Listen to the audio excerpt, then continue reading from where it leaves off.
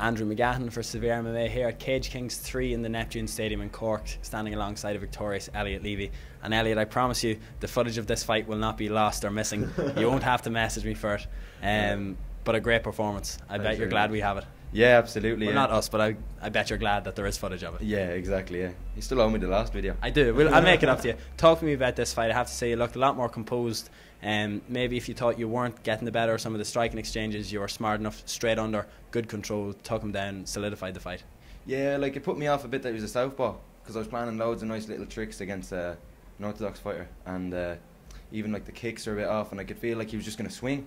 I know I'm more technical, but I just didn't feel that. Didn't want to risk getting caught with something big, and I think he threw one in the first, so just wanted to stay a bit away from. him. Do you think that kind of fits with the whole SBG ethos, how you don't get caught up on a partner, you're able to adapt, overcome as soon as you find Exactly, something in a fight? Exactly, like I was starting off kickboxing, and everyone here thinks I'm going to go out and kickbox people. But for now, all my fights have won on the ground, whether it's by TKO or submission. You know, I just went out and saw his legs was open, and he was swinging, so he was open for it. So, Yeah. so. Did I answer your question? Did I Uh, kinda. It Can't was- it was- the was. I can't really give off. I go off in tangents as well a lot. A very active year. Um, what's next? I'm fighting Shinobi in four weeks in UK in Liverpool. So that's me four. That would be my fourth fight in four months. So It seems like fight. I can remember a few years ago people would say, "Oh, Artem Lobov's away off for another fight. It's Thursday afternoon. He's taking a fight in Liverpool, a Yeah. weight division higher." But now it seems like it's happening more regular for SBG. Peter Queally and Dylan Tukin, some of that, two other guys are away over to uh, to London, short notice for a fight. You're doing it now again, four weeks time. yeah. This is just the ever evolving trend. I just want to fight more. I don't get to fight in the gym. I don't like sparring hard. Since my last fight, I only sparred twice.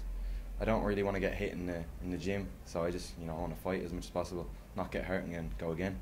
And then technically, one final thing: first round looked like he, he was seconds away from tapping with that head and arm choke. Break it down. What went wrong? Squeezing my hands instead of pushing the shoulder pressure. We did a class of that with John like two weeks ago, and he was telling me to stay and mount, but I just didn't feel like I trusted myself. I felt like he was going to bridge and roll, and he did in the end anyway. But just went off the side control. I was trying to squeeze it and felt it was on, but I didn't want to risk giving out, burning out my arm. So And then finally, your other the other side of your life. Do we class you as an Irish MMA fighter, or are you a French man? no, Irish. I know you get a bit of stick for that. Yeah, I do a bit frog legs, you know. But uh, yeah, no, it's uh, Irish, Irish MMA. Elliot, thank you very much. Very See you soon. See you soon. Yeah.